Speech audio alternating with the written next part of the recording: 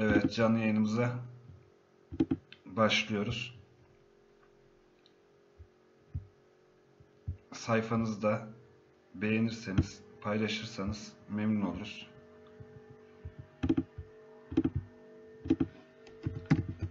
Gelmeye başlayın.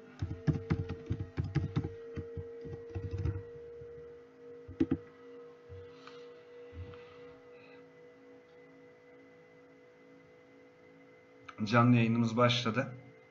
İzleyicilerimizi bekliyoruz. Sorularınızı cevaplayacağız. Bugünkü formatımız bunun üzerine kurulu. İlerleyen günlerde konuklarımız olacak. Haftalık maç değerlendirmelerini yapacağız.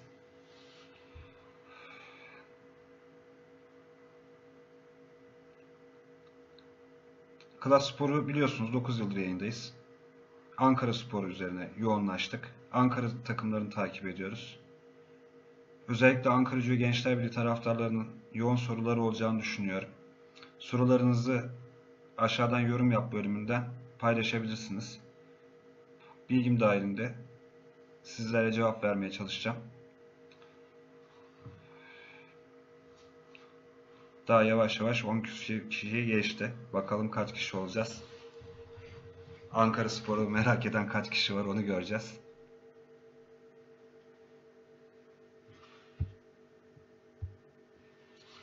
İlk Levent abimizden gel diyorum. Klas Spor'un canlı yayının ilk yorumcusu Levent Duygun abimiz oldu. Evet Gümüşhane maçı var Ankara Gücü'nün çok önemli bir maç. Artık kritik bir sürece girdi Ankara Gücü. O sene bu sene diyor. O sene bu sene olabilmesi için Gümüşhane engelini sorunsuz atlatması gerekiyor. Bugün sosyal medyada paylaşımlarını falan da görüyoruz. Gümüşhane'den yerel internet sitelerinin, yerel haber sitelerinde de takip ettiğimiz kadarıyla Gümüşhane'de bayağı bir kenetlenmiş durumda bu işe. Ankara gücünde devre arasında önemli kayıplar oldu. Önemli giden oyuncular oldu. Önemli gelenler oldu. Özellikle Emre'yi çok beğendim. Son maçta. Takım kenetlenirse, takım istediğini yapmaya, yapmak isterse Gümüşhane'den oradan 3 puanla döner diyorum. Mehmet Yiğner'in maç sonrası açıklamaları vardı. Önemliydi. Klas Spor'dan videolar yayınladık. Bayağı bir paylaşım aldı. Teşekkür ederiz paylaşanlar için. Mehmet Yiğner'e de teşekkür ediyoruz. Önemli bir açıklamada bulundu çünkü. Uzun zamandır bu kadar net ve bu kadar sert açıklama Mehmet Yiğner'den duymuyorduk. Hem Melih Gökçe'nin e, sosyal medya hesaplarında, Periskop'ta yaptığı yayında Ankara gücüne yardım gönderiyoruz. E, yöneticiler açıklarsın sözlerine bir manada önemli bir cevap verdi. Bu sene herhangi bir ödeme gelmediğini söyledi. Melih Gökçek buna ne diyecek, nasıl bir cevap verecek bilmiyoruz. En önemlisi biz gazetecilerin dahi bilmediğimiz bir detayı açıkladı. Tehlikeli bir açıklamaydı bana göre. Milli Savunma Bakanı'nın e, Gümüşhaneli olması, onun için Ankara gücünün sponsor gelirlerinin düşük olmasını, e, zaten görüşmeye gittiğinde onu da alamadıklarını, onu da almakta zorlandıklarını söyledi. 750 bin liraya yakın bir para var. Makine Kimya'dan Ankara gücünün forma sponsorluğundan alması gereken. Rakip takımı desteklemek adına belki de Mehmet Yiğner'in söylediğine göre e, bu ödemeyi Ankara gücü alamamış. Önemli bir paraydı. Umarız önümüzdeki günlerde bununla ilgili gerekli ödemeler Ankara gücü alır. Almazsa da Ankara gücünün artık bu sene maddi sorunlarla uğraşmak yerine artık takımı ayakta tutacak hamleleri yapması gerekiyor. Umarız futbolcular kenetlenirler. Playoff'a bırakmadan şampiyonluğu gösterler. Ankara'nın artık bir birincilik takımına da ihtiyacı var. Birincilikte temsil edilmiyoruz. Emre Bedri abim gelmiş, Ömer gelmiş yayına. Çok teşekkür ediyoruz destekleri için. Şu anda 40 kişi yayında. 40 kişi bizi takip ediyor. Ee, sistemimizi yeni kuruyoruz. Daha acemiyiz aslına bakarsanız ama Ankara Spor'un da böyle bir yayına ihtiyacı var. Herhangi bir şeyimiz yok. Televizyon kanalı olmayan bir şehrimiz var. Spor programı olmayan, spor yayınları olmayan, spor eleştirileri olmayan bir şehirde yaşıyoruz. Gazetelerimizin durumu malum. Ee, Hürriyet Gazetesi'nde, Milliyet Gazetesi'nde, Habertürk'te arkadaşlarımız kısıtlı imkanlarıyla Ankara sporuna bir şeyler yapmaya çalışıyor. Biz varız, Spor Anki var. Ee, bu şehri sahip çıkarak haber üretmeye çalışıyoruz ve gerçekten yoruluyoruz. Biz de kısıtlı imkanlarla bu işi yapıyoruz. Zaten çok büyük kısmınızda birebir de tanıştığımız insanlarsınız. Durumunuzu biliyorsunuz. Gençler Birliği konumuz var. Gençler Birliği ile ilgili malum İlhan Cavcı'nın vefatından sonra kongre süreci geliyor. Ayın 25'inde kongre var. Onunla ilgili sorularınızı bekliyorum. O, o konuya hakim olduğumu da biliyorsunuz zaten. Enteresan bir süreç yaşanacak. Geçtiğimiz günlerde köşe yazımda zaten biraz bahsettim neler yaşanacağına dair. Dediğimiz olmaya başladı. Tarık Hocam yazmış. Ee, Yeni Mahalle Belediyesi handbol takım antrenörü Serdar Ere'ye milli takımda başarılar diliyor. Biz de başarılar diliyoruz. Biz biraz daha yerel düşünüyoruz. Milli takımdan önce Yeni Mahalle'nin bu, bu sene şampiyonluk bekliyoruz. Malum sezona kötü başladı. Ee, Süper Kupayı alamadı. Avrupa'dan erken elendi. Beklediğimizden erken elendi. Artık e, şampiyonluk kupasını mutlaka bekliyoruz. Bir de Türkiye kupası var. İki kulvarda da ciddi bir mücadelede bulunuyor. Osmanlı Spor'a verilen destek Ankara takımlarına niye verilmiyor? Osmanlı Spor'a verilen destek örtülü veriliyor. Hafriyat geliriyle veriliyor. Başka gelirlerle veriliyor. Ee, kendi takımlarını da desteklemekten yana bir tavır sergiliyorlar. Ankara Gücü'nün yaptıkları malum bunu defalarca anlatmama gerek yok. 2006 yılından beri ben bu özellikle Ankara Gücü konusunu takip ediyorum. Çok büyük bir sorun ürettiler Ankara Gücü'ne. 100 milyon, 105 milyon lira borçla bıraktılar. Birçok yönetim geldi gitti. Mehmet Yiğner yönetimi en azından kulübü ayakta tutmayı başardı. Ankara Gücü üvey çocuk mu diye destek verilmiyor. Ankara Gücü üvey çocuk değil, Ankara Gücü bu şehrin en öz evladı. Bana göre Gençler Birliği beraber öz iki kardeşler. Verilmiyor çünkü bu şehirde bir yerellik bilinci yok maalesef. Ee, milletvekillerimiz de yerel değil, Ankaralı değil. Belediye başkanlarımız da Ankaralı değil. Ee, taraftarlarımız da yeterince kenetlenmeyi beceremiyorlar açıkçası. O gücü gösterebilseler Ankara gücü üye devlet modundan çıkacak. Gençler Birliği'nin şu anda bir sıkıntısı yok ama Gençler Birliği de bu şehrin üye evladı boyutunda. Yönetenler tarafından baktığımız zaman. Gençler Birliği'nden başlayalım. Murat Çavcı'dan başka aday var mı? Murat Çavcı'dan başka aday yok. Olmayacak da gözüküyor. Şahsi kanaatim olmamasından da öne. Bu genel kurul İlhan Cavcı'nın vasiyeti bir genel kurul. İlhan Cavcıv'ın e, ölmeden önce son gün bir yönetim kurulu toplandı. O süreci kısaca bir anlatayım. İlhan Cavcav yaklaşık vefatından bir hafta önce yönetim kurulu e, da başkan vekili Niyazi Aktaş'a telefon açıyor. Konya'da Aktaş o dönem. E, oğlu Murat Cavcıv'ı başkan vekilliğine getireceğini kendisinde istifa etmesini ya da yönetim kurulunda başka bir göreve geçmesini istiyor. Niyazi Aktaş bunu kabul etmiyor ve istifasını sunuyor. Zaten istifası da kendisinde hazır bulunuyor. Bu Ağustos ayında da benzer bir süreç yaşanmıştı. Anadolu Ajansı üzerinden bir açıklamayla Niyazi Aktaş'ı istemediğini, en azından başkan vekili olarak görmek istemediğini söylemişti. Ee, bu süreçten sonra Niyazi Aktaş istifasını sunuyor Vefatından bir gece önce İlhan Hoca banyoda e, tuvalete kalkıyor geceliğin. Hizmetçisi de olmasına, hemşiresi yanında olmasına rağmen ve tuvalette bir düşüyor. Kafasında ve kolunda bir darbe alıyor. Bu ertesi gün fark edilmiyor. İlhan Hoca bu halde yönetim kurulunu topluyor ve e, Murat Cavcav'ı yönetim kurulu üyelerine emanet ediyor. Ve başkan vekili yapmak istediğini söylüyor. Geceliğin fenalaşıyor aynı gece. Yoğun bakıma kaldırılıyor. Ertesi günkü süreçleri biliyorsunuz. Bir, bir manada bu yönetim kurulunun bir vasiyet gibi oldu. Murat Çavcı bu kongreye çok çok büyük ihtimal tek aday olarak girecek. Ee, yönetim dışından zaten bir aday çıkmasını şu an için mümkün görmüyorum. Çıkar mı? Çıkabilir illa ki bu kadar delege oyunlarının olduğu yerde, delegelerin olduğu yerde mutlaka başkaları da aday olmak isteyebilecektir ama şanslı olmayacaktır. Ee, Murat Çavcı ve yönetiminin de şu anda üye yapımıyla e, bu işi biraz da garantiye aldığını iddiaları var. E, göreceğiz. Şu anda 900 tane bildiğimiz üye var. Bir 600 tane daha üye yapıldığı söyleniyor. Doğrulanıyor mu da yalanlanmıyor da. Ama bu genel kurul Murat Çarcav'ın yönetim başkan olacağı genel kurul olacak. Yönetim kurulunda revizyon bekleniyor ama onun da çok ciddi düzeyde olmayacağı tahmin ediliyor.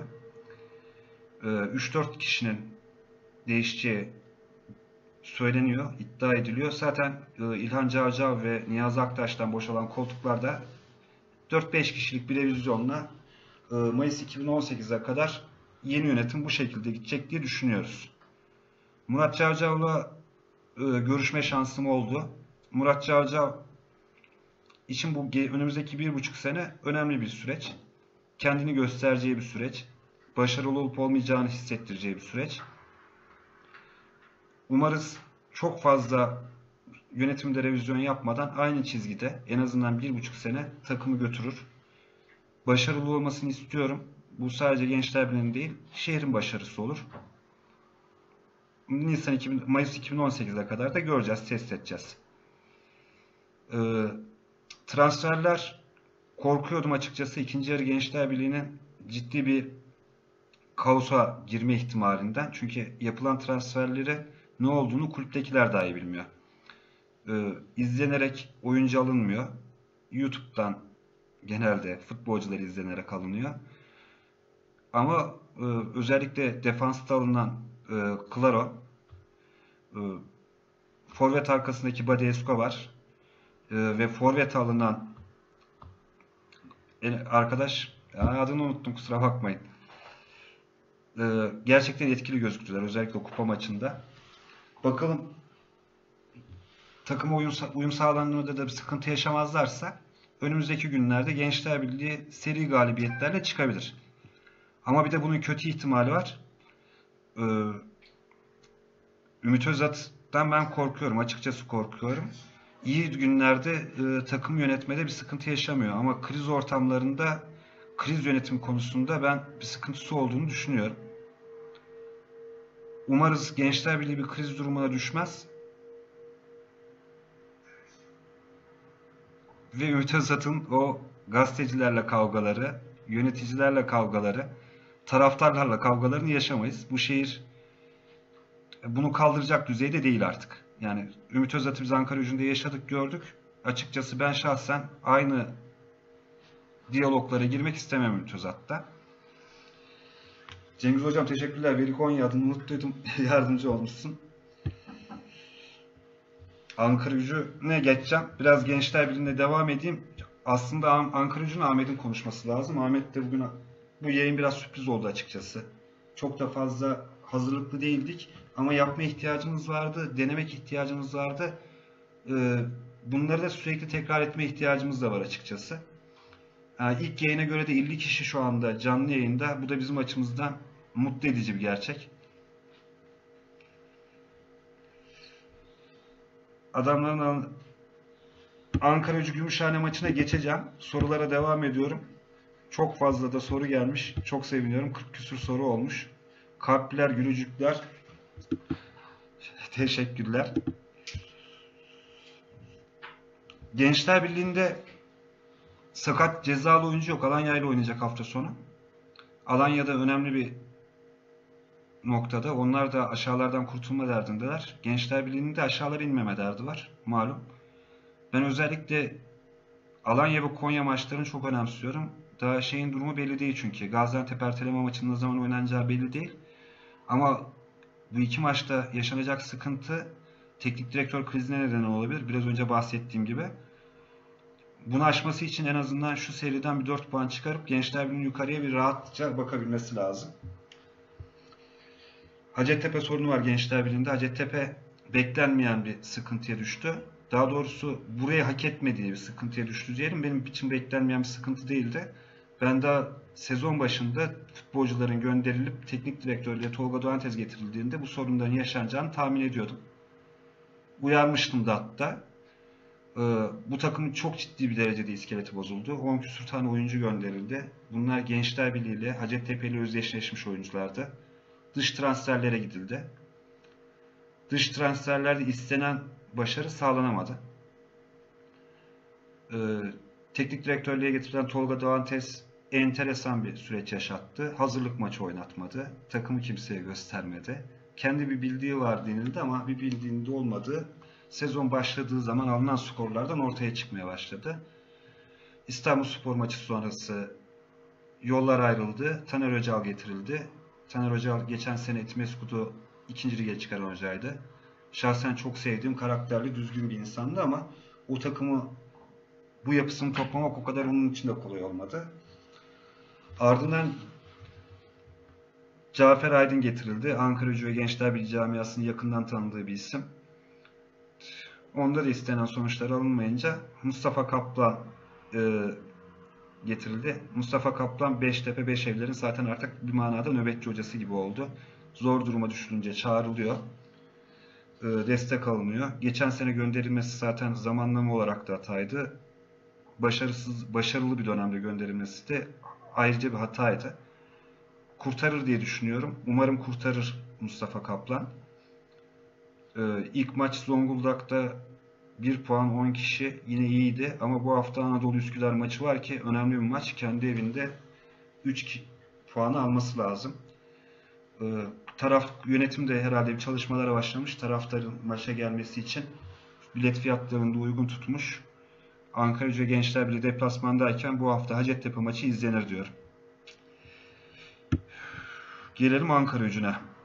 Ankara Gücü'ne ilk yayının ilk başlarında biraz anlatmaya başlamıştım ama biraz daha aşalım. İlk önce Mehmet Yiner'in açıklamalarından başlayayım. Mehmet Yiner'in isterseniz açıklamasını size kısaca bir hatırlatalım. Onun üzerinden tekrar devam edeyim.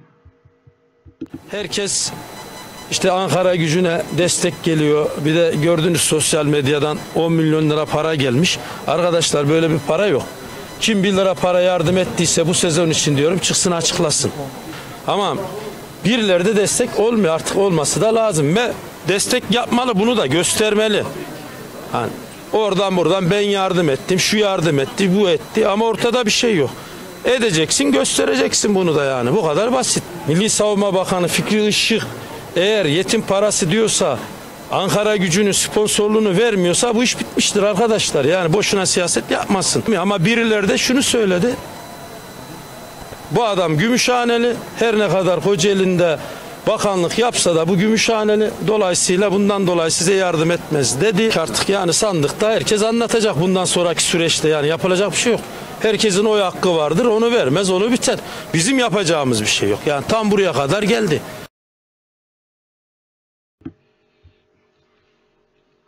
Bu 10 dakikalık bir röportajda Mehmet Yiğner'le biz uzun süredir bu şekilde röportajlar yapmıyorduk. Maç sonrası, galibiyet sonrası kameralarımızı uzattık. Gerçekten önemli açıklamalar yaptı. İlk şu 10 milyon lira meselesiyle ilgili bir kısaca bir hatırlatma yapayım. Ee, Metin Akgüz transfer döneminin başında sosyal medyada bir açıklamalarda bulunmuştu. Tam ne olduğu belli olmayan açıklamalarda ama önemli açıklamalarda. Yayınımız var mı bu arada? Yayın geliyor mu arkadaşlar? Geliyor galiba. Önemli açıklamalarda ardından bir tane Twitter hesabı açıldı ve Twitter hesabından Mehmet Diner'in daha doğrusu Ankara yönetiminin Büyükşehir Belediyesi'nden ve Melih Kökçek'ten 10 milyon liraya yakın bir destek aldığı söylendi. Mehmet Yiğner bunu yalanlasa dahi dedikodular bayağı bir dolaşmıştı. Bu para geldi mi gelmedi mi ne oldu ne bitti konusunda. Ee, Mehmet Yiğner ilk önce bunu açıkladı. Bir para gelmedi dedi. En azından bu sene için bir para gelmediğini söyledi. e, Mem- Melih Gökçe'nin de geçtiğimiz günlerde zaten e, yaptığı bir periskop yayınında Ankara Gücü'ne yardım ettiğini ve bunu yöneticilerin bildiğini ama açıklamayarak kendisini zora soktuğunu söylemişti. Mehmet Yiner bir şekilde bu paranın gelmediğini ve, ve Ankara Gücü'nün gerçekten bu paraya ihtiyacı olduğunu, belediyenin özellikle desteğine ihtiyacı olduğunu söyledi. İkinci söylediği Milli Savunma Bakanı ile ilgiliydi. Ankara Gücü formasında reklam alınıyor. Ankara Gücü yıllardır belli destekleri alıyor. Ee, bu birincisi Tandoğan konusu. Tandoğan'ın e, masraflarını makine kimya karşılıyor. Güvenliği, temizliği gibi. Ee, halı saha falan konusunda da Ankara Gücü gelir elde edebiliyor. Tandoğan tesisleri onun için Ankara Gücü açısından kritik ve hayati bir önem taşıyor. İkincisi forma sponsorluğu geliri. Bu 800 bin lira, 750-800 bin lira civarında bir gelirmiş. Mehmet Yiner bunun arttırılması ile ilgili çabalar içerisindeydi. Ama o parayı almayı beklerken meğerse onu da alamadığı, arttırmayı düşünürken alamadığı ortaya çıktı. Ee, ve bunun için birkaç kere görüşme olmasına rağmen Milli Savunma Bakanı'nın yetim hakkını yedirmem tarzında bir açıklamasıyla Ankara Gücü'ne para vermediğini söyledi. Ha, baktığımız zaman e, Kocaeli'nin gerçek takımı Kocaeli Spor'a destek vermiyorken Kocaeli Birlik Spor'un yükselmesi için uğraşan bir bakanımız var. Aynı zamanda Gümüşhaneli olduğu söylenen bir bakanımız var. Gümüşhaneli olması, hangi şehirli olması çok enteresan değil ama Ankara Gücü'nün rakip takımı olunca Gümüşhane, şampiyonluk mücadelesi verdiği takım olunca e, bir de Ankara Gücü'ne maddi destek gelmiyorsa bu konuyla ilgili bu sıkıntılı bir süreç. Mehmet Yiğinler'in de şikayetlerinde haklılık payı bu konuda çok yüksek olarak var. Bakanın da bunu açıklaması gerekiyor. Niye Ankara Gücü'ne desteğe gelmediğini söylemesi gerekiyor artık. Ve parayı göndermesi lazım çünkü Ankara Gücü'nün artık para dertleriyle uğraşmaması gerekiyor. Ertuğrul Yavuz yazmış. Melik Gökçek yanlış yere aktarmış olabilir parayı. Melik Gökçek zaten direkt kanallarla, belediye yardımlarıyla falan göndermiyor. Değişik yollar uyguluyor. Umut Nair'in parasının örnek gösteriyorum. Osmanlı Spor'dan hala niye gelmediğini söyleyen yok, soran da yok. Biz yazıp çiziyoruz ama Ankara yönetiminden de uzun süredir bununla ilgili bir cevap gelmedi. Umut Nair Osmanlı Spor'a transfer edildi. Oradan Göztepe'ye gitti. Başka takımlara gitti. Ee, bunun parası Ankara Gücü'nün Osmanlı Spor'dan gelmedi. Aynı tarihlerde belediye meclis kararıyla Ankara Gücü'ne bir para aktarıldı. Ama asıl alınması gereken Umut Nair'in parasının ben şu ana kadar alındığına dair bir bilgim yok. Bilen varsa da özellikle yazarsa çok sevinirim. Ee, üçüncü bölüm kısa donmalar vardır. Çözeceğiz. Bu ilk deneme yayınımız. Hatalarımız varsa da kusura bakmayın. Ee, üçüncü bölüm Tandoğan tesislerinin kenar kısmı gidiyor. Ee, bu yüksek hızlı tren garından dolayı e, daha önce Ankara Gücü'ne ihtar gelmiş. E, halı sahanın olduğu bölüm ve antrenman sahasının olduğu yerde bir metrelik falan bir bölümün e, yol yapılacağı gerekçesiyle Ankara Gücü'nden alınacağı söyleniyor. Ee, daha önceden tebligatlar gelmiş. Makine Kimya Genel Müdürü kepçeye getireceklerini söylemiş. Şu ana kadar gelmemiş. Ankara Gücü için Tandoğan tesisleri kritik önemli. Ankara Gücü açısından Tandoğan tesislerin olması gerekiyor. Ve aktif olarak kullanılması gerekiyor. Ya ben çocukluğumda orada çok antrenman izledim.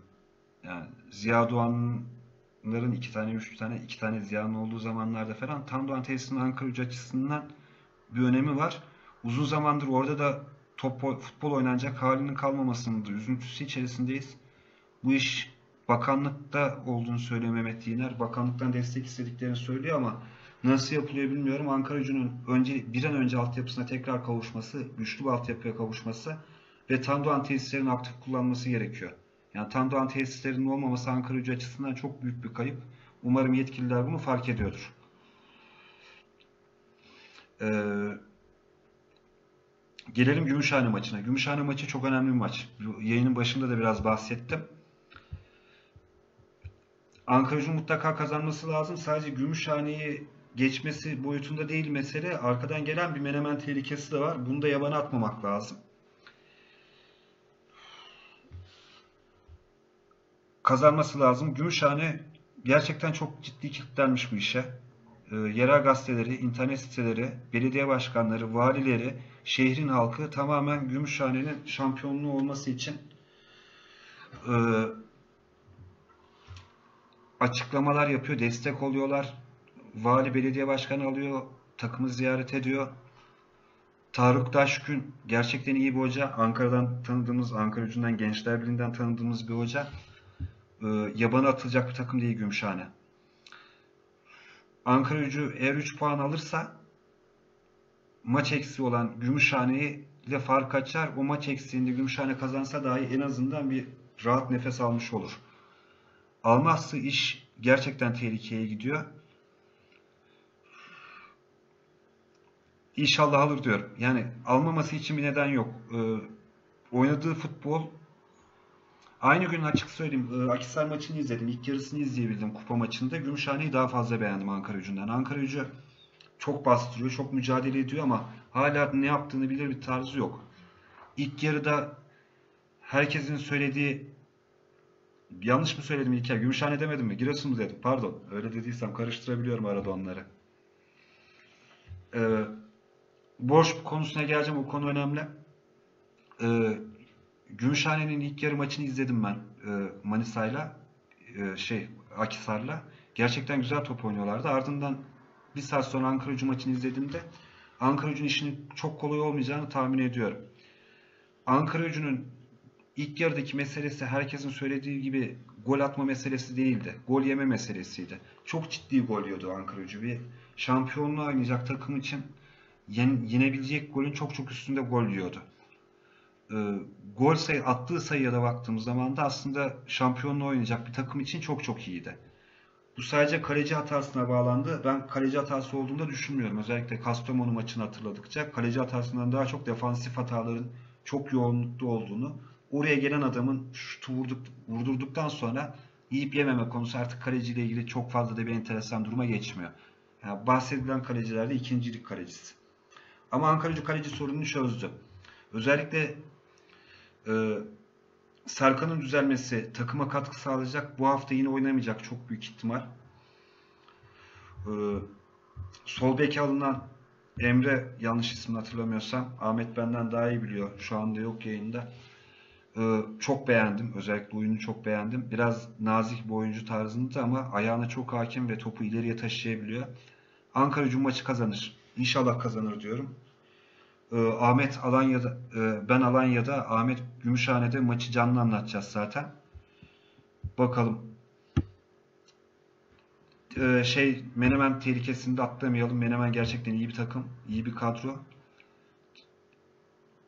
Puanla dönmek önemli. Orhan'ın dediği gibi. Göreceğiz. Şimdi en sevdiğim konuları soruyorsunuz bana. Ben o konuları e, biraz açayım. Ankara Gücü AŞ niye kuruldu? Bunun bir aslına bakarsanız karşılığı yok. Niye kurulduğunun bir nedeni de yok. Ankara Gücü AŞ kuruldu ama hala şu anda Türkiye Futbol Federasyonu kayıtlarına göre bir Ankara Gücü AŞ yok. Çünkü Ankara Gücü AŞ olabilmesi için borçları da şirketin devralması lazım. Alacaklarla beraber. Ee, Ankara Gücü'nün borcunun çok ciddi kaldığını düşünmüyorum ama Mehmet Yiğner geldikten sonra ödemeleri nasıl yaptığı ile ilgili net bir açıklama şimdiye kadar biz duyamadık.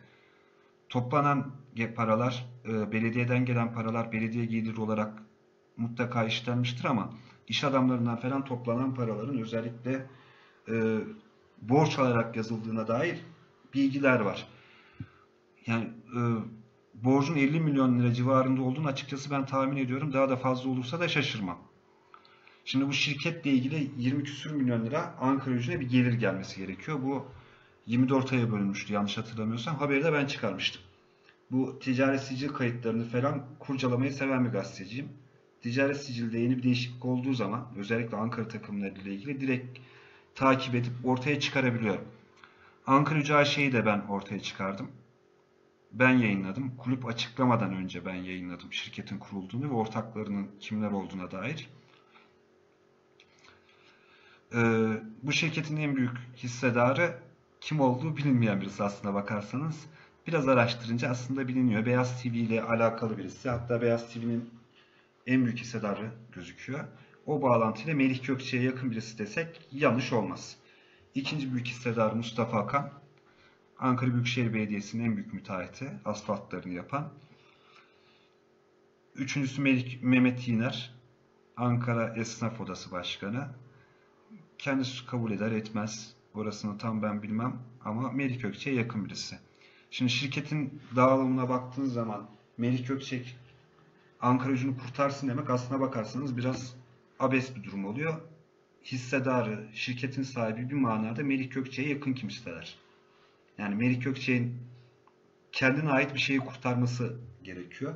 Ve taraftarın bunu talep etmesi de aslında bakarsanız gereksiz bir şey. Melik Gökçek'in bunu yapması lazım artık. Yani hem şirketin hissedarısın, seninle yakın kişileri aldırmışsınız veya almışlar. Ankara gücünün şirketleştiyse eğer ki resmi kayıtlara göre ki şirketleşti ama belediye e, federasyon kayıtlarına göre öyle bir şey yok. Yani bir an önce o desteği artık sağlayıp Ankara gücünü normal seviyesine getirmesi lazım. Ben baştan beri söylüyorum. Ankara gücünü devraldıkları yerde getirseler zaten Ankara gücüne en büyük hizmet etmiş olurlar. 20 milyon liraya yakın bir borç. Ee, Süper Lig'de oynayan bir Ankara gücü. Zaten yaşaması da mücadele etmesi de zor olmaz diye düşünüyorum. Ankara gücü şirket konusuna önümüzdeki günlerde detaylı belgeleriyle beraber sizlerle paylaşmaya başlayacağım. Bu özellikle en büyük hissedar konusu beni çok çok mutlu eden bir konu değil. Yoruları şey yapıyorum. Ankara gücünde bakın ben anlatmaya çalıştım aslına bakarsanız ama Ankara gücüne nasıl kurtulacağına dair en güzel senaryo Kocaeli'de yaşanıyor. Kocaeli Ankara gücünden gerçekten maddi olarak da statü olarak da çok daha geriye gitti. Amatör kümeye düştü. Taraftarı inanılmaz bir kenetleme yaşadı. Ankara gücü taraftarının büyüklüğünü falan tartışacak bir şey değiliz ama şu anki kenetlenmesi Kocaeli Spor'unki çok farklıydı. Yani amatör ligde 30 bin kişi oynadılar, 25 bin kişi oynadılar.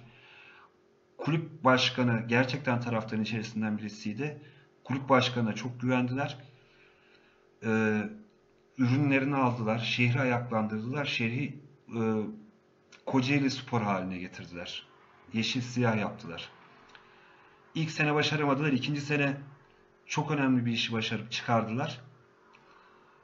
Ee, geçen bu senede hatırlarsınız Kocaeli Başkanı televizyonlara çıktı ve yardım talebinde bulundu. Bizim bir ödememiz var, ödemezsek puanımız silinecek, küme düşürüleceğiz, destek olun diye. Ee, bu çağrı çok enteresan bir şekilde Türkiye'nin her yerinden destek buldu. Önümüzdeki günlerde Kocaeli Spor'dan da arkadaşları bağlatırız. Onlar da söylerler. Ee, Hatta Kocaeli'nin başkanı Amigo'nun yanında tellere çıktı bağırdı. Doğrudur. Gerçekten çok güzel bir başkanlık sergiledi. Ee, geçen o açıklamadan sonra Kocaeli Spor ciddi bir destek aldı ve daha da enteresan bir proje imza attı. Tam detaylarını şu anda bilmiyorum. Bildiğim kadarıyla size paylaşayım. Ee, Süper Lig'de oynadığı dönemlerde Ankara girişinde bir tesis arazisi vardı Kocaeli Spor'un. Bu tesis arazisi Sefa Sirmen'e başkan olduğu bir vakfa aitti. Ee, bu araziyi e, vakfın yönetimine bir şekilde kulüp taraftarı bastırarak e, kulüp başkanını getirdi. Yani Sefa Sirven'in başkanlığının hapiste olmasından da bir manada fırsat bilerek getirdiler. Daha sonra bu arazi TOKİ'ye verildi belediye aracılığıyla. Kocaeli Spor'un maddi yükü çok önemli oranda azaldı. Hatta bitti. Büyükşehir Belediyesi de Kocaeli Büyükşehir Belediyesi de şu anda Kocaeli Spor'a başka bir tesis arazisi ayarladığını biliyoruz ve tesislerine koşacak. Zaten stadı yapılıyor. Kocaeli Spor taraftarının kenetlenmesiyle şehri ayaklandırarak ve yapması gerektiğini yaparak kurtardı. Ankara Gücü için çok güzel bir örnek Kocaeli Spor. Ankara Gücü'nü yönetenlerin de taraftarların da bakacağı yer Kocaeli Spor. Belediye tüm desteğini Kocaeli Spor'a veriyor. Kesin bilgi. Adnan abi ben bu konuda sana katılmıyorum. Kocaeli Belediyesi de ciddi derecede Kocaeli Spor'a ve taraftarına zorluk çıkardı. Şehrin baskısıyla Kocaeli Belediyesi teslim oldu diyebilirim. O çok daha mantıklı bir cevap olabilir. Kulüp müdürü yönetici Muharrem Bey'in ne alacağı var? Kulüp yöneticilerinin ne alacağı var? açıklanmıyor. Bilinmiyor. Mehmet Diner göreve geldiği zaman bu konuda şeffaf olacağını söylemişti. Bütün gelirleri giderleri açıklayacağını söylemişti. Biz gazeteciler olarak bize böyle belgeler ulaşmıyor. Bir şey olduğunda sorun deniliyor. Niye e, bir şey olması lazım sormamız için. Kulüp yönetiminden kimin ne alacağı var, kimin ne borcu var. Bunu açıklamasını Ankara Gücü taraftarı adına, şu anda yorum yazanlar adına ben rica ediyorum. Açıklayın biz de sitemizde paylaşalım. Ankara kime ne kadar borcu var? Hangi futbolcuya borcu var? Hangi futbolcu ile ilgili problemimiz kaldı? Yani şimdi Sedat Bayrak konusunu söylüyoruz. Eyvallah Sedat Bayrak e, transfer yasağını kaldırmadı ama Sedat Bayrak'ı transfer eden Mehmet Diner yönetimiydi. Ödemede problem yaşatmış, anlaşmamış. Bence bu yönetimle alakalı bir konu. Kendisini ilgilendirmeyen önceki dönem söylenenleri de açıklarsa en azından şu anda gelen yorumlarda gelenlere biz de daha rahat cevap verebiliriz. Çok da zor olmasa gerek. Muhasebe kayıtlarından Ankara Gücü'nün kime ne borcu var söylenebilir. Söylenmelidir de. Yani Göztepe söyleniyor. Evet Göztepe çok güzel bir başkanı var. Ben de çok beğeniyorum. Özellikle Karşıyaka'yla dostluğu da sağladı. Beraber e, basketbol maçlarını falan izlediler. Beraber sarıldılar, şey yaptılar. Ama Kocaeli Spor'un ben şu anda mevcut imkanlarıyla tesisleriyle iki tesislerine gittim gördüm. E, şampiyonluğu garantilemesi lazımdı açık söyleyeyim. Yani ne Eskişehir'deki belli sıkıntılar, ne Yeni Malatya'daki ne de Bolu'daki sıkıntılar Göztepe'de yok. Orada hala olmayan bir şey var. Ne olmadığını İzmir medyasına şey yapıyor. Gençler Birliği konusuna gel geçtim. Bir daha anlatırım. Olmadı. Çok sıkıntı değil. Tekrar ediyorum. Ankara Gücü'nde kimin ne borcun, kimin ne alacağı var. Şu anda ben bilmiyorum. Bilen varsa da bizle paylaşırsa da çok memnun olurum. Şeffaflık evet bu bütün takımlar için geçerli. Gençler Birliği için de geçerli. Ankara Gücü için de geçerli. Osmanlı Spor için de geçerli. Etimeskut için de geçerli. Etimeskut sorulmuş. E, playoff oynar mı? İnşallah oynar diyorum. Etimeskut'un playoff oynaması oynayacak hale geldi. Güzel kısmı. Bu sene çıktı Etimeskut e, ikinci lige. Ankara Gücü ile aynı grupta mücadele ediyor. Kötü bir başlangıç yaptılar. Ama ona rağmen devre arasında yaptığı transferlerle çıkışa geçtiler. 2-3 maç daha kazanırlarsa playoff'un en büyük adaylarından bir tanesi olur diyorum. Ha, şeye çıkarlar mı? Bu sene zor tabii. Playoff'tan da olsa birincilik Etimeskut için zor. Zaten o hedefte de olmaları olduklarını düşünmüyorum. Yılmaz Bol hocama buradan selamlarımı iletiyorum. Yılmaz Bol hocam çok büyük işlere imza atıyor Etimeskut'ta. Ankara Gücü'nün eski kalecisi. Bir dönem kaleci antrenörü. Ee, Gerçek bir sportif direktör, bir menajerliğin nasıl olacağını Ankara'da bize en iyi gösteren aslında bakarsanız Etimeskut Belediyespor'da Yılmaz hocam. Kendi izliyor, kendi inceliyor. Ramazan Tunç nerede, neden gözükmüyor? Ramazan Tunç'un gözüküp gözükmemesinin niye bu kadar önemli olduğunu ben anlamıyorum. Ee, evet devre, sezon başında transferleri Ramazan Hoca'nın yapıldığı söylendi. Ben kendisinde çok kıymetli bir spor adamı olduğunu düşünüyorum. Ama bu kulüplerde transfer yapan menajerler gelir gider. Kulüp yönetimi istememiştir. Hoca istememiştir. Menajer göndermiştir. Eğer söylemek istenen şuysa bu transferleri Ramazan yaptı. Ramazan olmayınca oynanmıyor. O zaman burada başka bir problem var. Profesyonellik problemi var. Yani bir futbolcu menajer getirdi diye o olmayınca oynamayacaksa o futbolcunun kendi karakteriyle bir sıkıntısı vardır. Ha yok organizasyonu çok güzel yapıyordu. O onun yokluğunu Ankara Gücü hissediyordu arasınızda. Bu da Ankara Gücü'nün organizasyon kabiliyeti asıl sorgulanması lazım. Yani eğer bir şirket ya da kulüp kurumsallaşmadıysa bir kişi gitti diye her şey tepe taklak oluyorsa ve her şey başarı veya başarısızlık buna bağlanıyorsa ben burada bir mantık hatası arıyorum. Kişilerin önemli olmayacağını, olmaması gerektiğini düşünüyorum. Siz ne düşünüyorsunuz bilmiyorum. Ben Ramazan Hoca'ya saygı duymakla beraber çok da bu konunun uzatılmasının Ankara Gücü'ne de bir fayda sağladığını düşünmüyorum. Hacettepe konusunu biraz önce değindim. Videoyu zaten daha sonra tekrar izleyebileceksiniz. Orada di- dinlerseniz tekrar etmemiş olurum. Ee, Tandoğan tesislerini İlker söylemiş özellikle içim e, tarihi açımızdan çok önemli var. Ben hatta Tandoğan tesislerinin Ankara Gücü'nün kurtuluşu için de çok önemli olduğunu düşünüyorum ve sahip çıkılması gerektiğini düşünüyorum. sorularınıza bakıyorum kusura bakmayın bir taraftan da. Osmanlı Spor konusuna gelelim. Ben Osmanlı Spor konuşmayı açıkçası çok fazla sevmiyorum. Mecbur Ankara takımı olduğu için takip ediyorum. Etmek zorundayız. Manşetlerimizde yerleştirdiğimizden dolayı çok tepki de aldığımız oluyor. Ama bir taraftan da biz yapmak zorundayız. Ee, Osmanlı Spor iyi başladı. Avrupa'da da iyi gidiyor. Devam edecek. Yunanistan, Yunanistan ekibiyle Olympiakos'ta oynayacak. Bundan daha fazla gidebilir mi? Aslına bakarsanız kadro yapısı bence gayet iyi Osmanlı Spor'un. Maddi sorunları yok. Kendi statları var. Garip bir taraftar kitlesi var. Yani garip kısmını açıkça söylemede de sıkıntı duymuyorum. Yani PlayStation oynayanlar bilirler. Çok senkronize olan bir tribün yapısı vardır PlayStation'da. Ee, gol olur bütün tribünler ayağa kalkar. Bağırışlarda ıslıklar falan şeydir. Ben Türkiye'nin en büyük taraftarlarının tribün gruplarını gördüm. Yani bir bağırışta bütün tribünün komple ayağa kalktığını, mehter okununca herkesin beraber yere çöktüğünü falan görmedim. Ciddi eğitim almış, taraftarlık konusunda eğitim almış bir tribün yapısı var. Ee, geçen İstanbul'dan aradığı bir arkadaş taraftar grubuyla görüşmek istemiş. Ee, nazik bir dille Anfa Güvenliği personel dairesiyle görüşmeleri gerektiğini, en fazla oradan bilgi alabileceklerini taraftarla ilgili söyledim. Gençlik Parkı'nın orada bir tesis binaları var. Orada tribün kültürü konusunda çalışmalar yaptığı söyleniyor. Antrenman yaptığı söyleniyor. Hatta bunun videoları yayınlandı. İzlemişsinizdir illaki. Yani e, taraftarlık biraz gönül işidir. Burada gönül işinden daha çok biraz daha zorunluluk var. Çalışan insanlar hatta kart bastıkları dahi söyleniyor. Ama ona rağmen yine de saygı duyuyoruz. Duymamız gerekiyor. Emekçi insanlar. Belki zorunlu, belki gönüllü geliyorlar.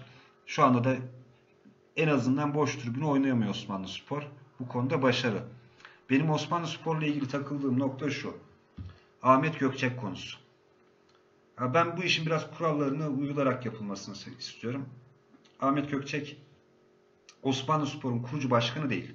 Yani bu çok büyük bir yalan. Bunu da belgeleriyle yayınlarım. Haber değeri olduğu için sadece burada kesiyorum. Kurucu başkan olmadığını söylüyorum.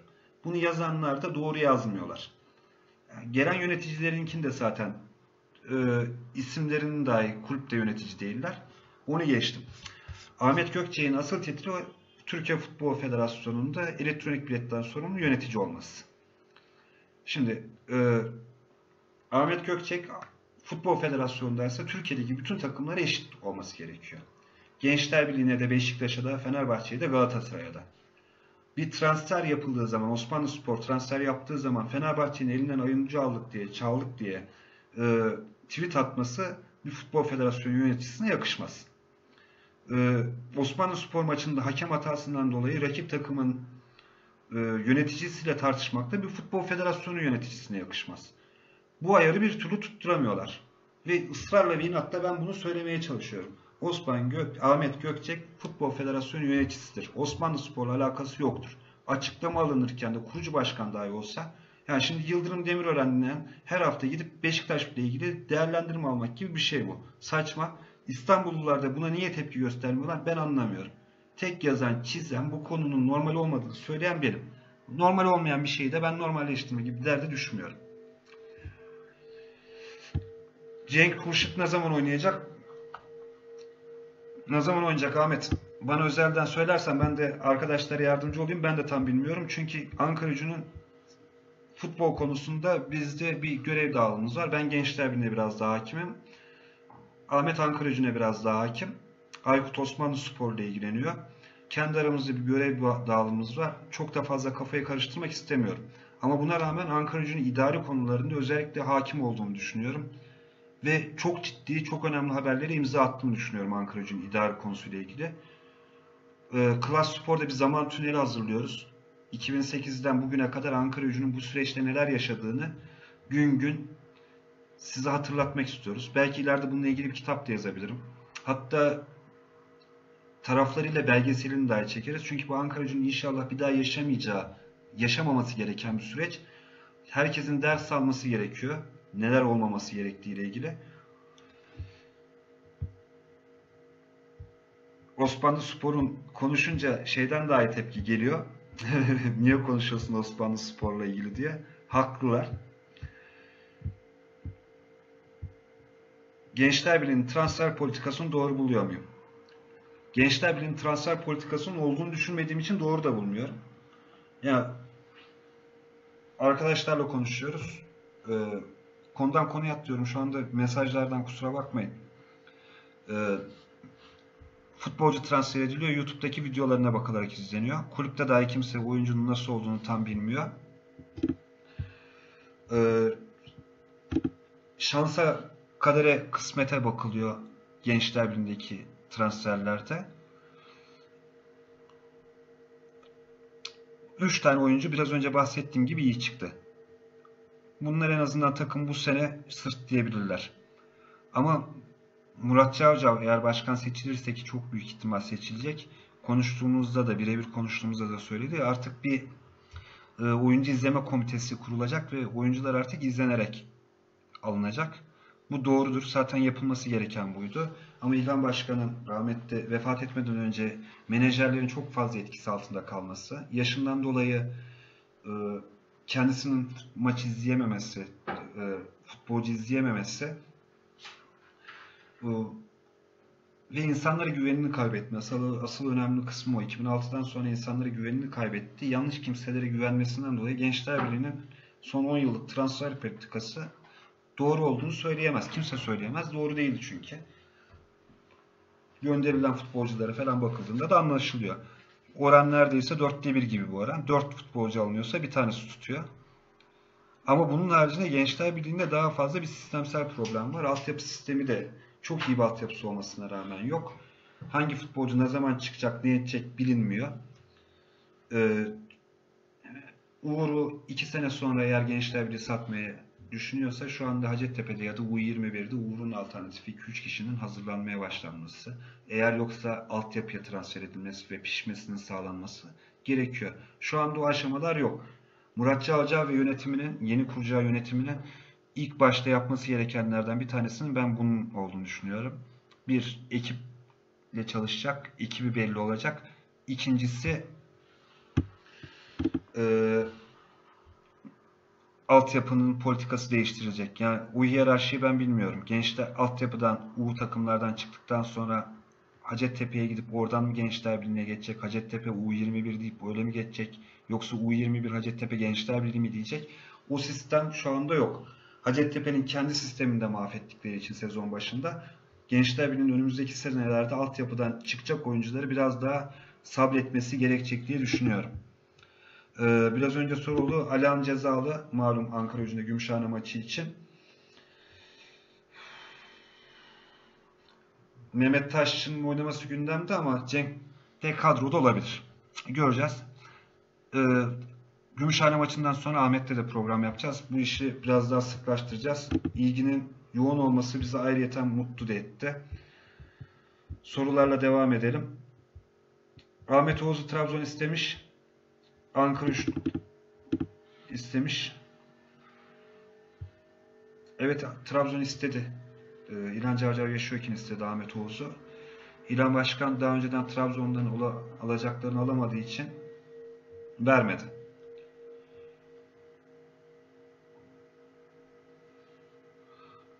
Evet, e, yasak konusuna gelmiş. E, Tandoğan'a değil, benim Ankara gücüne girişimizde genel olarak bir yasak geldi. Ahmet antrenmana gitti, geri döndü. Yasaklar konusunda biz şerbetliyiz. Yasak gelir. Biz işimizi yapmaya devam ederiz. Bir dönem Ankara gücünde Gençler Birliği, Osmanlı Spor'da hepsinde beraber yasaklıydık. Ama bu yasağın karşılığı bizim kulüplerle ilgili girdiğimiz garip ilişkilerden falan dolayı değil. Yaptığımız haberlerin yöneticileri mutlu etmemesinden kaynaklıydı. Biz de pamuk şeker satmıyoruz, habercilik yapıyoruz. Kimseyi mutlu etme gibi derdimiz yok. Kimsenin ağzını tatlandırma gibi derdimiz yok. Ee, yasak gelir, kalkar. İlhan Başkan doğum gününde haber gönderdi. Gençler Birliği'nde yasağı kaldırmıştı. Ankara gücünde kalktı mı kalkmadı mı sormadık bile açıkçası bilmiyorum. Gideriz almazlarsa almazlar. Biz yine işimizi yapmaya devam ederiz. Osmanlı Spor'da yasağımız var mı yok mu bilmiyoruz. Antrenmanlarını takip etmiyoruz Osmanlı Spor. Maçlarına mümkün olduğunca gidebildiğimiz zamanlarda gidiyoruz. Uğur Çiftçi'yi nasıl buluyorsunuz? Uğur Çiftçi'yi uzun zamandır fazla bulamıyoruz. Bu taraftarların en fazla eleştirdiği noktalardan bir tanesi. Ee, özellikle ben de Halil İbo'nun çok iyi noktaya gelmesini bekliyordum. Ee, gelmedi. Ee, en son Fenerbahçe maçında soyunma odasında yaşanan bir ufak bir gerilim duygusal anlardan sonra Halil İbo'nun e, Adana Spor'a kiraya verilmesine karar verildi. Levent Hoca Ankara'dan bildiğimiz bir hoca Adana Spor'un başında. Ben Halil İbo'yu iyi noktalara getirirse gelecek sene tekrar döndüğünde Uğur'u zorlayacağını düşünüyorum. Uğur'un zorlanması, Halil İbo'nun forma giymesi Uğur'u zorlarsa da Uğur'u da tekrar kazanabiliriz ama Uğur'un şu anki performansına çok mutlu olduğumu söyleyemem.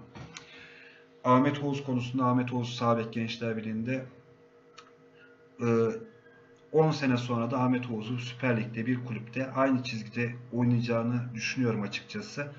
Hiç çizgisini bozmayan bir futbolcu. Çok çok üstüne koymuyor belki ama gerilemiyor da. Ahmet Oğuz güzel olacak diye düşünüyorum. Kulüs için gönderilmesini doğru buluyor muyum? Kulüs için gönderilmesini doğru bulmuyorum tabi. Benim gibi yüzlerce kişinin de doğru bulmadığını düşünüyorum.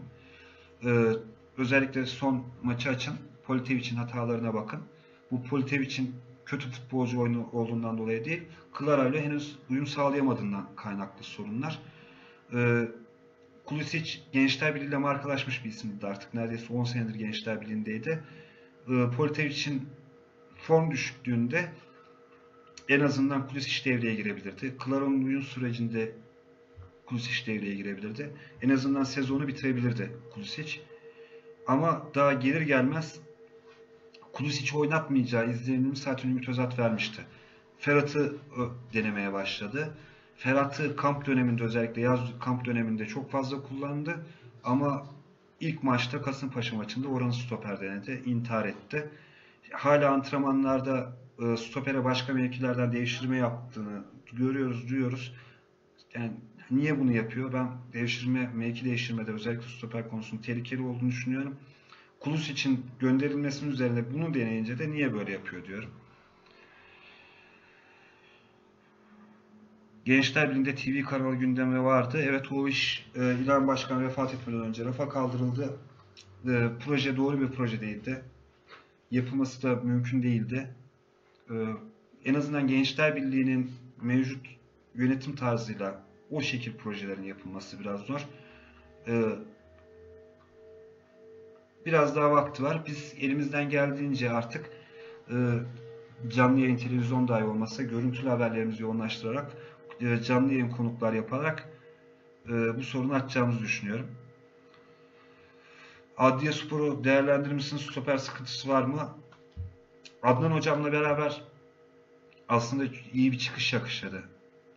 Adliye Spor. Sezon sonuna kadar eğer şey olursa ya rahat konuşmayı seviyorum. Adliye Spor'un da dengesi bozuldu. Özellikle Melih Gökçe'nin e, Adliye Spor'a direkt müdahaleleri o takımın da bir dengesini bozdu. E,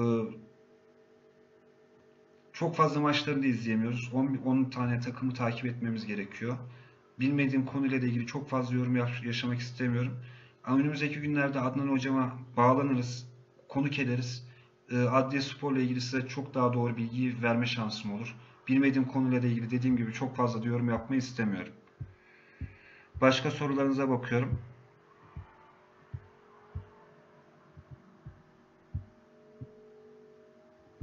Kaos Gençler Birliği'nde yaşanır mı demişler. Tekrar ediyorum Gençler Birliği'nde bir kaos beklenmiyor. En azından Mayıs 2018'e kadar bir kaos yok. O konuda şey olsun. Ha, en merak söylemek istediğim şeye geldik. Ee, basketbola biraz değinmem gerekiyor. Ee, geçen sene Telekom küme düşürdük malumunuz. Yönetimsel problemlerle düştü. İmkansızlıklar yüzünden değildi Telekom'un düşmesi. Bu sene TED tamamen imkansızlıktan dolayı düşüyor. Sezon başında sponsorunu kaybetti. Ee, yeni gelen sponsorundan ciddi geliri elde edemedi. Neredeyse takımın kadrosu e, İstanbul takımlarının herhangi bir tanesinin bir sporcusu fiyatına. Ona rağmen bu hafta Efes'te muhteşem bir maç oynadı. Ee, son saniyede 3 sayılık atış sayılsaydı Ankara'da Anadolu Efes'i yenmiş olacaktı. Masa hakeminin top elden çıkmadı e, uyarısıyla kazanamadı maçı. Ama çok önemli bir maçtı. Moral bakımından. Kurtulması kolay mı? Anadolu Ted'in kurtulması bu sene çok zor. Gelecek sene Süper Lig'de takımımız kalmayacak. Basketbol Süper Ligi'nde. Üzgünüz. Ee, devreye sokabileceğimiz, aktifleştirebileceğimiz insanlarla da telefonla falan da konuştuk ama onların da Ted'in biraz da e, okul takımı olduğu, aslında yerinin Süper Lig olmadığı, birinci ligde yetiştirici kulüp olması gerektiğini söylediler. Durum öyle. E, voleybolda Halkbank ve Ziraat Bankamız var malumunuz. Maliye Milli Piyango'muz vardı. Maliye Milli Piyango da biraz daha yetiştirmeci kulüp. Yetiştirmeci olarak Halkbank ve Ziraat Bankamız var. Halkbank'ın İstanbul'a gitmesi gündemde. Bununla ilgili Ankara Yerel Medyası olarak bir kampanya başlattık. Kalmasıyla ilgili.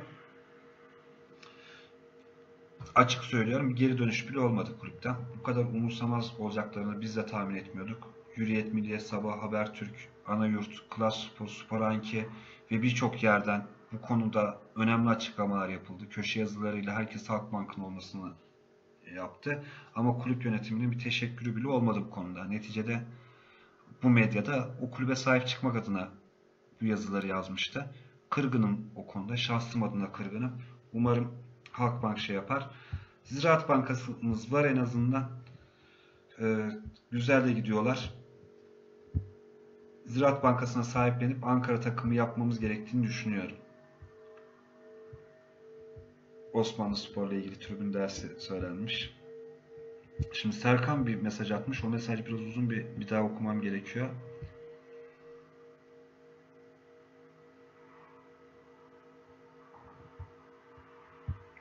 Şimdi kongre sürecini, Gençler Birliği'nde kongre süreci tek aday Murat Çavcı olacak. Bir aday çıkmayacak. Ee, evet, üyeler yapılıyor. Bunun haberi bize de geliyor. Yalanlanmadı da yaklaşık 900 olan üye sayısı 1500'e çıkacağı söyleniyor. Ama ben bunu artık tepki verebilecek noktaya geçtim. Çünkü öyle bir dernekler kanunu var ki ülkede e, koltuğa oturan bir kişiye kendi istemediği sürece indirmek açıkçası artık imkansıza yakın bir şey. E, her istediğini son dakikaya kadar üye yapabiliyor. İstediğini e, atabiliyor. Sonra geri dönse dahi o kadar önemli değil. İstediğinde genel kurul yapıyor. Aslına bakarsanız krallık sistemi gibi şey dernekler kanunu. E, spor kulüplerinde artık bu dernekler kanunundan kurtulması gerekiyor. Spor kulüplerine ayrı özel bir kanun gerekiyor. Bunu yapmadıkları sürece bütün kulüplerde sadece Gençler Birliği'nde, Ankara Gücü'nde veya diğer kulüplerde değil her kulüpte benzer sorunlar yaşanacak. Durdurabilecek misiniz? Durdurması da çok çok kolay bir şey değil.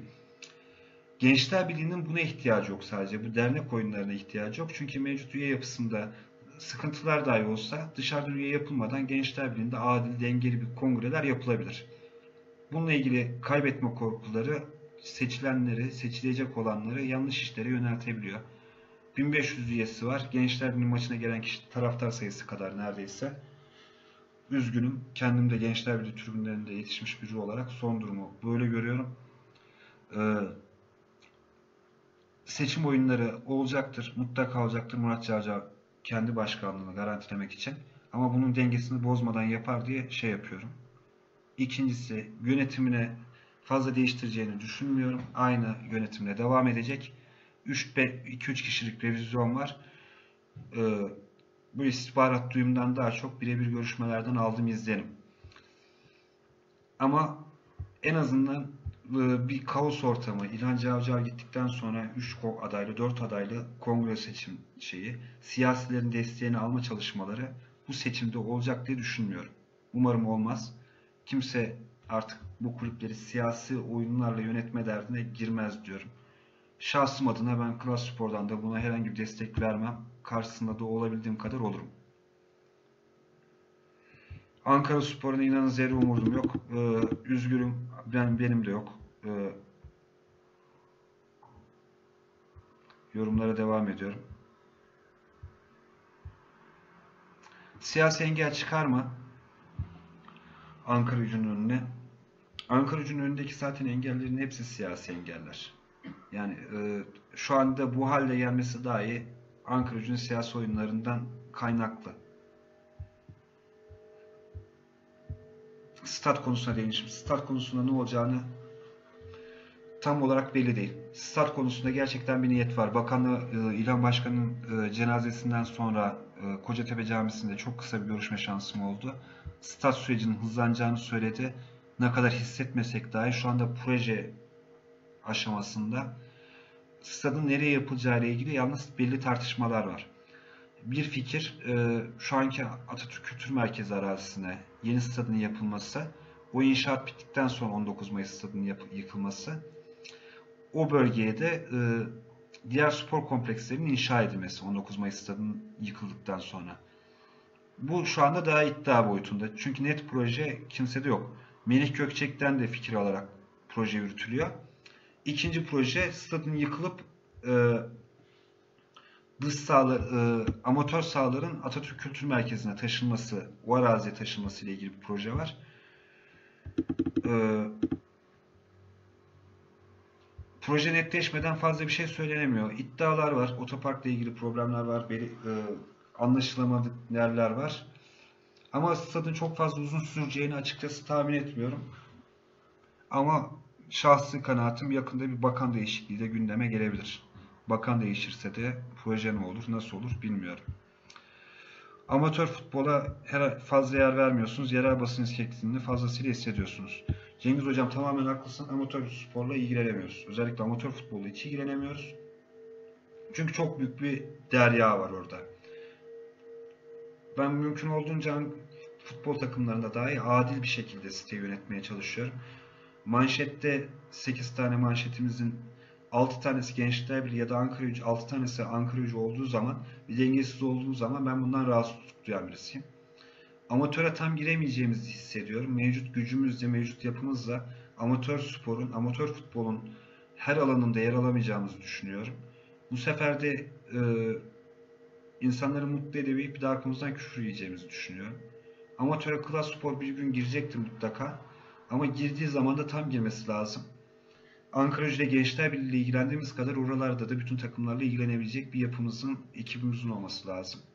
Hak verirsiniz ki o çok da kolay bir şey değil. Ama girdiğimiz zaman da tam gireceğiz hocam. Ulaşamıyorsak sizin emeklerinizde tam gösteremiyorsak, başarılarınızı tam gösteremiyorsak kusura bakmayın. Bu yetersizliğimizden kaynaklı maddi olarak da ekip olarak da.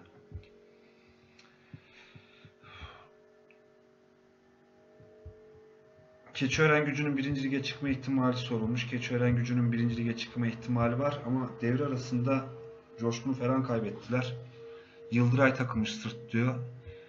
Yıldıray da bu şehrin en önemli sporcularından bir tanesi. Ta yani yıllarca bütün liglerin gol kralı olmayı başaran bir futbolcu. İlgiyle ta- takip ediyorum. Lisansı Osmanlı Spor'da. Osmanlı Spor'un futbolcusu aslında ama Keçiören gücünde kiralık oynuyor. Umarım diyorum. Umarım da demiyorum açıkçası. Keçiörenlilerin de Keçiören gücünü tam sahiplendiklerini tahmin etmiyorum. Yani birinci lige Ankara, Ankara'dan bir takım çıkacaksa bu birden fazla olması biraz zor. Ankara gücünün artık bu sene çıkması gerektiğini düşünüyorum. Başka da bir takımı acelesi yok. Keşke Keçiören gücü, Buksaç Spor, Hacettepe gibi kulüpler sadece altyapı görevlerini üstlenseler e, camia kulüplerine futbolcu sağlayan, futbolcu yetiştiren kulüpler haline gelebilseler olmuyorlar. Kalili'yi nasıl buluyorsunuz? Kalili'yi hiç iyi bulmuyorum. Özellikle ikinci yarıdaki performans hatta ilk yarının son performansı hiç beklediğimizi vermedi. Ümit Hoca'nın sabrından dolayı takdir ediyorum. Bence alternatifli üretmesi lazım. Bir ivmeyle yakalayamadı. Doğru söylüyorsun Umutcan. Eryaman Stadı'nda son durum nedir? Eryaman Stadı'nda inşaat başlamış.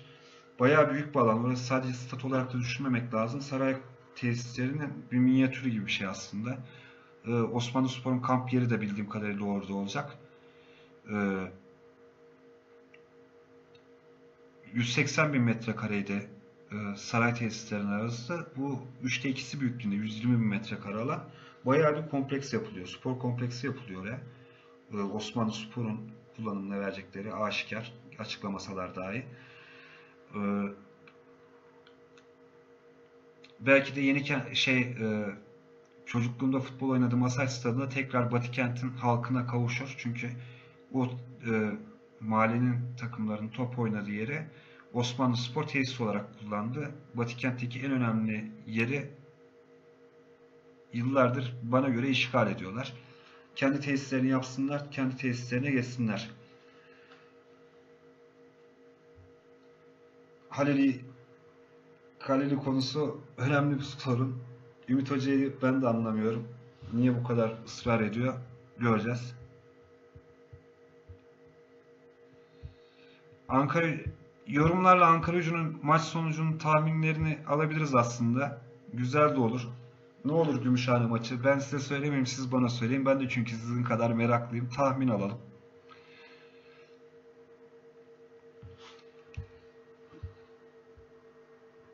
Ümit Hoca soruları var. Baştan söyledim. Ee, kriz dönemi gelene kadar Ümit Hoca'nın bir problem yaşayacağımızı düşünmüyorum. Önemli olan eğer Gençler Birliği bir kriz yaşarsa üst üste alınan yenilgilerle Ümit Hoca'nın e, kriz kontrolünü becerip becerememesiyle alakalı.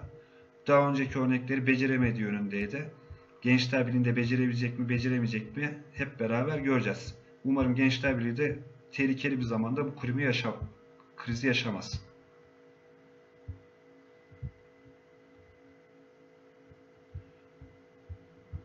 Başka sorularınız varsa alalım. Cavcav sorusunu tekrar edebilir misin? Al- Yakalayamadım.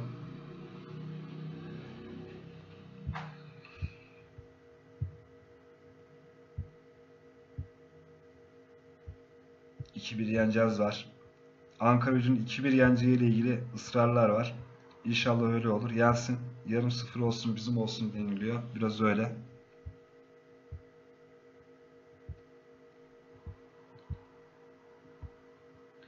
Ee, Mehmet Sevim, e, Mehmet Yiner'in açıklamalarını sormuş. Ee, iki kere tekrar ettim. Yayın bittikten sonra bu görüntü tamamen yayınlanacak zaten. Oradan e, izlersen soruların cevabını alırsın diye düşünüyorum.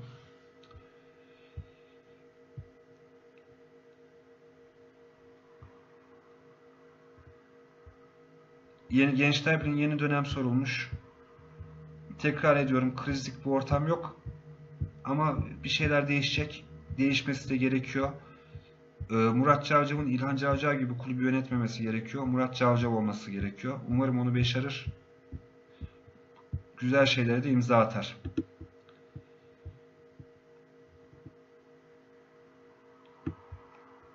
Bir buçuk sene Alp, e, Murat Cavcav'la devam edecek gibi gözüküyor Mayıs e, 2018'e kadar. Ondan sonrakileri bu, bu dönemde Murat Cavcav'ın yapacağı başarılar gösterecek. Adnan abimiz galibiyet hava durumuna bağlamış. Vedat konusu var. Vedat'ı çok yakın arkadaşlarım, Gençler Birliği'ni beraber takip ettiğimiz arkadaşlarımız da çok çok beğenmesine rağmen ben Vedat'ı da beğenmiyorum. Gençler Birliği de Ankara Gücü'nün tersiydi. Özellikle ilk yarı. Ankara Gücü gol atıyor ama çok gol yiyordu. Gençler Birliği gol atamıyordu ama gol de yemiyordu. Yani eğer Gençler Birliği zaten ilk yarı gol atmayı başarmış olsaydı birçok şey değişecekti. Ee, Stankun'un sakatlığı Gençler Birliği'nin gol atmamasında önemli nedenlerden bir tanesiydi. Gitme nedeni de zaten sakatlık olarak söylendi. Gençler Birliği'nde sakatlığından dolayı oynamıyordu. Bursa'da oynamaya başladı. Ama doktorların söylediği en ufak bir sakatlıkta Stankun'un uzun süre sahalardan uzak kalacağı yönünde. Satılması o yüzden e, net bir şekilde Stanku satılmamalı diyemedik. E, Ranti'nin videolarını izlediğinizi bilmiyorum. Top cambazı. Çok çok başarılı bir adam. CV'si de çok sağlam. Ama uzun süre top oynamaması ilk yarıda Gençler Birliği'nde aktif olmamasına neden oldu. Ben ikinci yarı Ranti'nin devreye gireceğini düşünüyorum. Veli Konya ile beraber muhteşem ikili olabilirler. Ama ne Mehmet'den ne Mehmet için de eleştirmek için belki erken şahsi his olarak söyleyeyim. Mehmet'den çok fazla bir şey beklemiyorum. Vedat'tan ümidimi tamamen kestim. Vedat'ın da çok fazla bir şey yapacağını yapamadı da beklediğimizde gösteremedi. Djalma El Kabir ne güzel yılalar nostalji yaşıyoruz.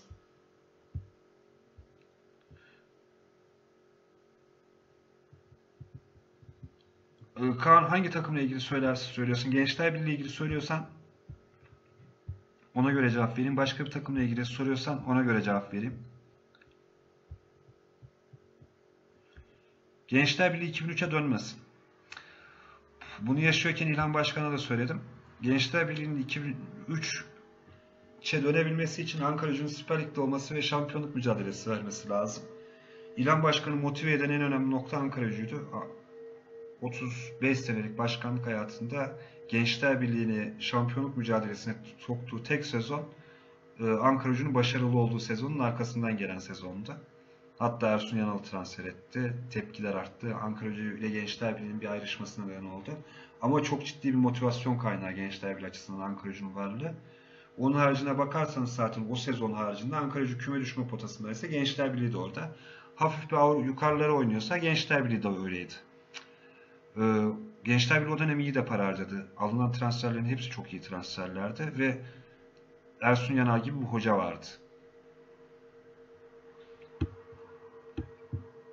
Tekrar o motivasyonu Gençler Birliği sağlayabilir mi? Bence biraz zamanı da var. Çok da acele etmesinler. İlhan Cavcav'dan sonra o motivasyonu sağlayacağız diye kasadaki parayı bitebilir. Yani başarı hırsı, başarı isteği birden çok büyük tehlikelere neden olabilir. Gençler Birliği'nin politikası oyuncu yetiştirip satmak üzerine değildi aslına bakarsanız. Yetiştirip sattığı son sezonlardaki futbolculara bir bakarsanız çok da fazla değil aslına bakar. Yani bu sene Çalık ve İrfan oldu. Ondan önce en son biz Gençler Birliği kimi sattı ben pek hatırlamıyorum. Hatırlayan varsa bana da söyleyebilir. Gençler Birliği'nde altyapıya da gerekli zaten önem verilmediği için büyük bir yanılgı vardı Gençler Birliği ile ilgili. Gençler Birliği çok oyuncu satıyor. Öyle bütçesini. Gençler Birliği uzun zamandır doğru dürüst oyuncu satmayı beceremiyordu. Oyuncu almayı beceriyordu ve aldığı oyuncuların çok büyük kısmı affedersiniz çöptü. Yani ben e, Mehmet Ali Çetinkaya var. Gençler Okta istatistikleriyle yardımcı oluyor. Klasta da köşe yazıları. Onun istatistiklerine bakarsanız Gençler Birliği'nin yıllardır transfer politikasının bu şekil olmadığını söyleyebiliyorum. Evet Soner Aydoğdu'ydu. Benim de en son hatırladığım Soner Aydoğdu'ydu. Nedim Hocam her zaman çayımızı içmeye bekleriz. Spor il müdürü değişmiş iyi olur mu? Spor il müdürü maçlardan maçlara görüşüyoruz. Umarım iyi olur.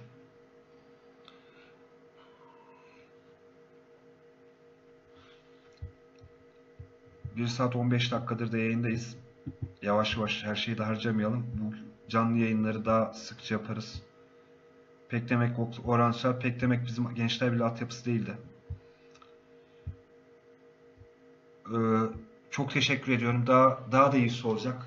Daha da güzel olacak. Daha konuklu olacak. Canlı yayın bağlantılı olacak.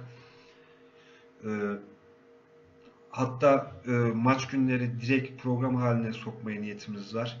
Maç sonrası teknik direktörlere bağlanıp haftalık değerlendirmeler alalım, maç değerlendirmesini alalım, futbolculara bağlanalım. Ama e, maç sonrası röportajları artık e, canlı yayına getirmeye başlayacağız. Maç sonrası futbolcu röportajları, yönetici açıklamaları canlı yayında olacak. Hatta e, maç öncesi taraftarlarla röportajlara başlayacağız.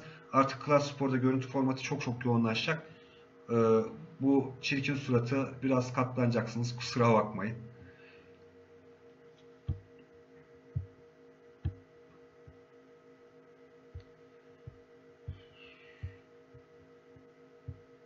Son soruları alalım. Bugünlük yayınımızı bitirelim.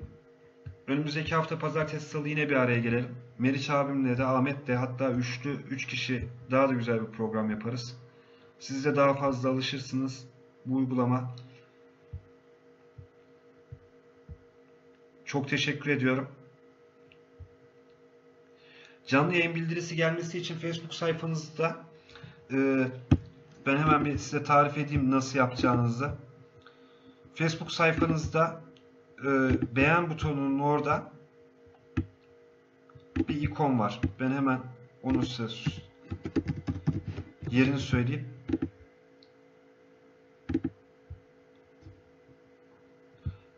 Ta, e, sayfaya girdiyseniz takiptesiniz. Takip et kısmının içerisinde e, bildirimler var.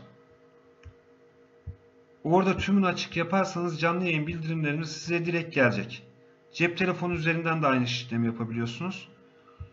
Ee, bir de ricam var artık sosyal medya hesaplarımızı takip edip paylaşır yorumlarsanız e, biz Ankara Spor'a hizmet etmeye çalışıyoruz. Bu sayfaların güçlü olması Ankara Spor'una da bir manada hizmet. Şu anda birçok Ankara'dan olmayan kişi de sayfa yayını takip etti. Oğuzhan sorunu tek cevap vermiştim. Tekrar şey yapayım. Mustafa Kaplan'ın hocalık kısmı ile ilgili benim bir fazla bir şüphem yok. İyi bir hoca olduğunu düşünüyorum. Ee, Birçok futbolcunun Mustafa Kaplan'ın gelmesiyle beraber ayrı motivasyona gireceklerini de tahmin ediyorum, gözlüyorum. Bu hafta Anadolu Üsküdar maçı var. Onu atlatırlarsa Hacettepe iyi yerlere gelecek diye düşünüyorum.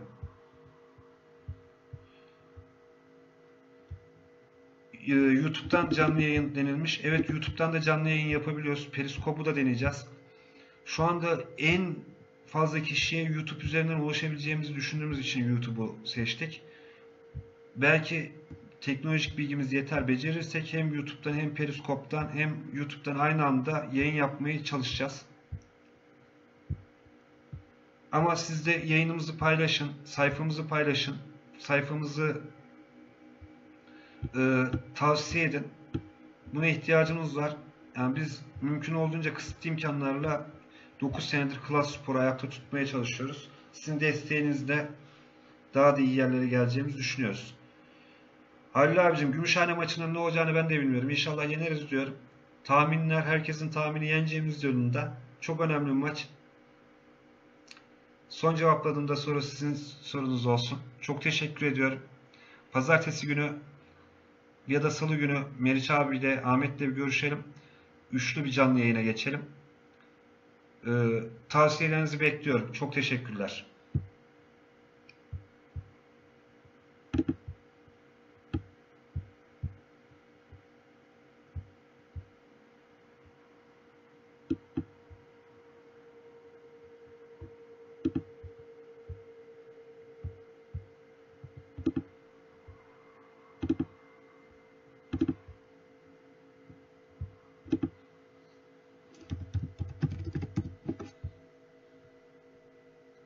Ben de YouTube oldum. Hadi. Niye kattın? Moderatör oldu. Tamam. Üçlü dörtlü yaparız. Ortamı ayarlayalım ve. Yayın sona erdi mi? Radyo programı yaptık oğlum o kadar. Tamam yaparız. Yazıklar olsun sana.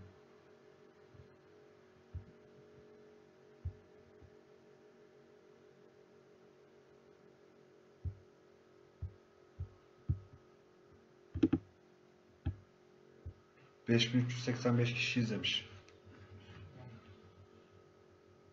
Sen YouTube'dan mı Facebook'tan mı yaptın? Facebook. Yok YouTube falan da soranlar oldu da.